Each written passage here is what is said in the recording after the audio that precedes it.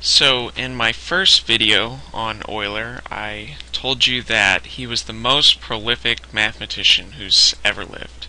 Okay, and I want to give you an idea of the amount of work he actually did and the kind of work he did. Okay, so it's estimated that he produced somewhere around 80 or more volumes of work. Okay, and this is a mix between mathematics and physics. Okay, and each each volume contains between 250 and 500 pages. Okay, so this is between 20,000 and 40,000 pages of math, which is an absolutely incredible amount of work. Okay, and like I said, nobody really compares to Euler on the amount of work at this kind of quality. So, let's take a look at the different kinds of work he's done through his life.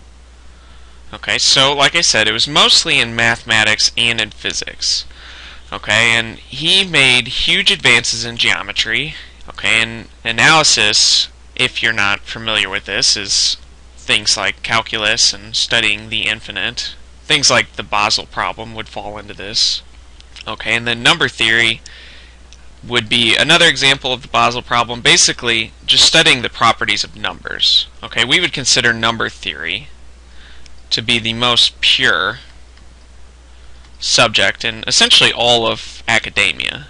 Okay, uh, I believe it was Gauss who said, if math is the queen of the sciences, then number theory is the queen of mathematics.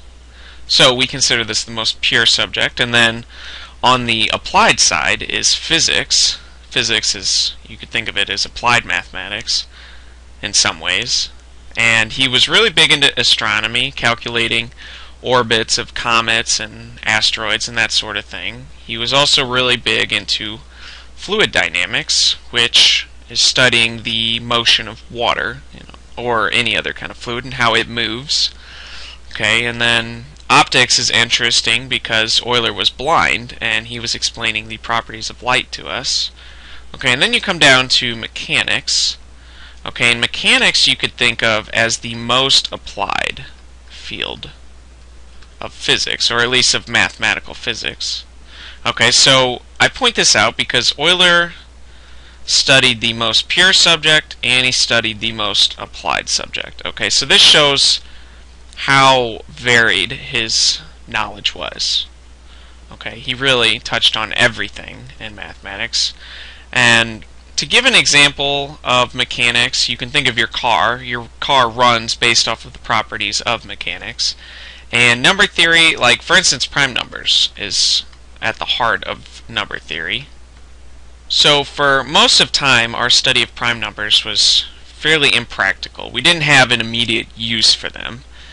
And so we have always categorized them within number theory. Okay, number theory, for the most part, a lot of the stuff in number theory doesn't have an immediate use, and it might be, you know, years or centuries down the line when we find a use for a lot of this stuff. Okay, and it was only recently that we found a, a use for prime numbers in finance. Okay, essentially, you use really large prime numbers anytime you make a transaction using your credit card or you do online banking the information is encrypted and essentially coded or protected using really large prime numbers. So nowadays they have a practical use, but all throughout history they pretty much didn't.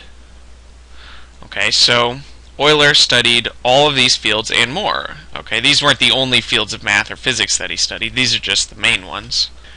Okay, and one great fact about Euler is his memory. Okay, he was known to have an enormous memory. Okay, and one thing he knew very well was prime numbers. Okay, and he could remember the first first 100 by heart. Okay, and it wasn't just those those numbers because that on its own is not that impressive, but it was also their second, third, fourth, fifth, and their sixth powers. Okay, so for instance, a number like 241 to the fourth power. Okay, and remember this is just 241 times 241 times 241 times 241. Okay, and if you actually throw this number into a calculator, you get 3,373,402,000 and 561. Okay, so he knew this number by heart, exactly as it is. And this is just one example. Okay, he also knew this to the fifth and to the sixth powers, and even a number as crazy as 337 to the sixth power, which if you put this into a calculator, it's something like 15 digits long. Okay, so he could remember all kinds of things that most normal people struggle to remember. Okay, and then one of Euler's most lasting contributions is a lot of our modern notation comes from him. Okay, things like the notation for a function, f of x, or the symbol for the number e, or the symbol for the square root of negative numbers, i, and the symbol for pi were all selected by Euler. Also, the symbol for sum, summations, and our symbols for the trigonometric functions, like the sine of some angle theta and the cosine of some angle theta, okay, and many more. And if you flip to the back of basically any calculus textbook, you'll see a lot of Euler's name in the back of the book. Okay, so this concludes the biography of one of the greatest mathematicians of all time. And to be honest, you could really only put Euler in a category with a few other people.